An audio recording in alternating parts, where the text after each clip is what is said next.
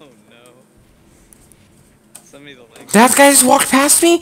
What? I'm right next to their spawn door. He just walked past me.